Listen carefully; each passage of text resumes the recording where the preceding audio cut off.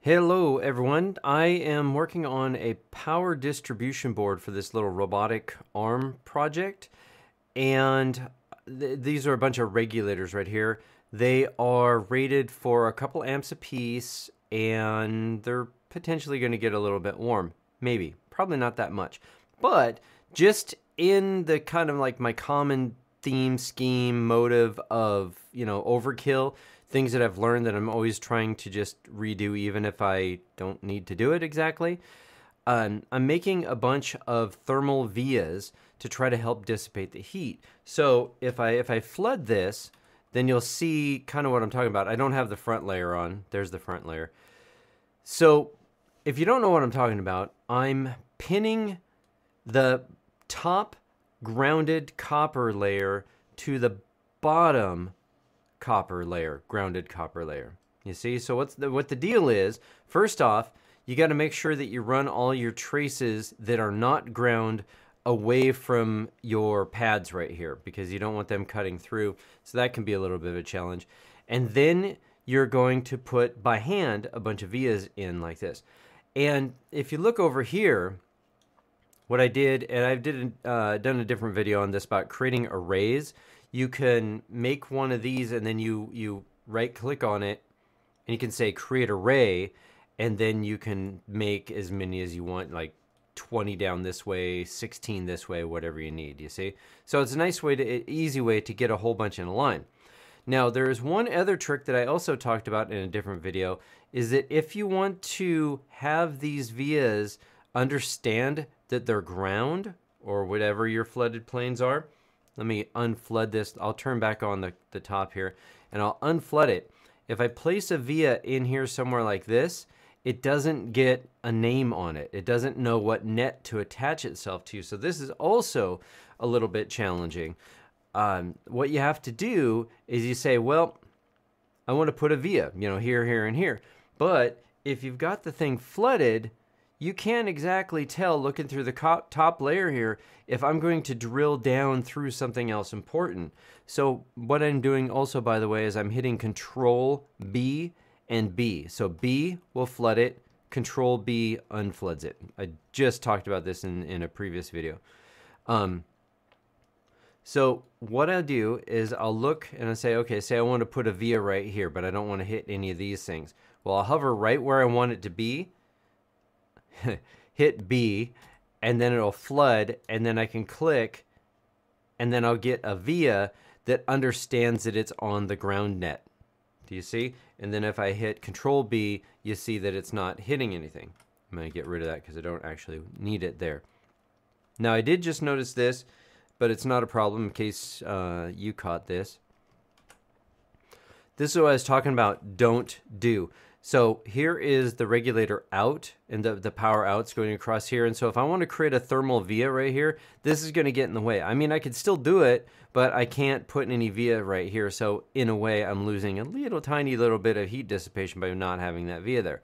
But this is the 7805, and this one here is just, as you notice, the trace is quite a bit smaller than the others. This is just for powering the Arduino that's up on the top board. So there's a couple Arduinos talking I2C to each other on a board that's above this. And um, and then uh, they're also controlling the eight servos that are going to the different robot arm to the to the arm itself. Then down here, are a little bit uh, higher power regulators. They're still they're 7.5 volts out with about two amps apiece. You know, so they've got potential to maybe get some uh, make some heat there. So that's why I'm pinning it. Okay, so now that I've forwarded all that, here's what I wanted to show you. This is just my cute little tips and tricks, and I thought maybe you could even make this into a footprint, but I'm not sure. I kind of don't think it would work. Over here, you see, I've created a little pattern but also notice that they already have GND on them. You could make a little pattern off to the side, but it won't be attached to the ground net. So do what I just said first, flood everything, put every all the, the, the vias in where you want them, and it's a little bit of a pain in the ass, but you shift select each one so you don't accidentally get everything else. And then you do a control D for duplicate, and then you take them off to the side over here, you see? then the idea is now that you've got your little pattern here, because quite frequently I end up doing things like this where we've got the hole here, the mounting hole for the TO220, and you know this is this is thermal relief up here on that tab as well and down here so i'd kind of like to get a few you know stitches all around there but dodging the hole so i got this kind of custom pattern so then you can copy this hit control d so now i have a duplicate and um, i oops oops oops i gotta change this. No 0.5 is okay. Sorry about that. Make sure your grid is set how you like it. Uh, in this case it's not going to be perfectly aligned. So I'll move this in here, get it about where I want it to be. Now, if I hit that trace above, that's okay because that's also ground, you see? So when I was running things through, I knew I didn't care about that because when I flood it, it's just going to run all of that ground into, you know, a big giant flood. So then come back over here, grab this, Control D, move it over, and place it in. Uh-oh, uh-oh, come on. I'm kind of trying to see that it's aligned with the, the one to the side of it. Not that you're even going to see this, right? Because these are pretty small vias. Okay, yeah, that one's off. Okay, that's all I wanted to show you. Just uh, how to make a patterned uh, thermal via for any project you're working on. Oh, wait, wait, wait a second. I've got one more thing to show you that I had to do with this board. This is one of two. It's a match set, so I've got these mounting holes like this so that I can mount another one right on top. Um, it's 100 by 100, so it's it's pretty large. Um, but I've got these, uh, it's basically a board-to-board -board interconnect, but I didn't want to spend the time to try to find a connector, so I just made a 10 uh, pin footprint.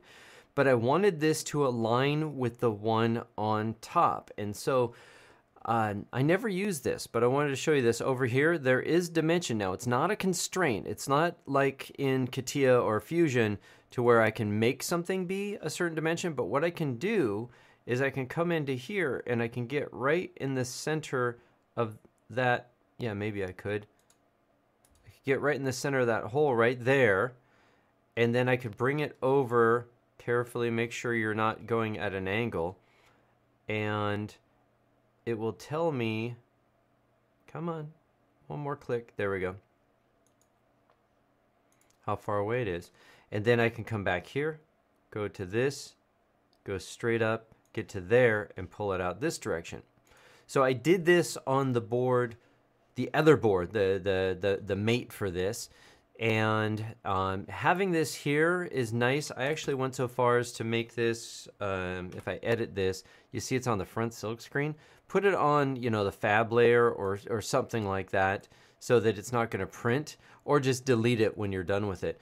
But it was a nice, easy way for me to know where this was in position to, you know, this top left corner of the board so I could make both sides be the same. So the idea is then I'll have wires going from one to the other just straight up. It's not going to be a tight fit. I want to make sure that I could fold the thing open, but uh, you get the point.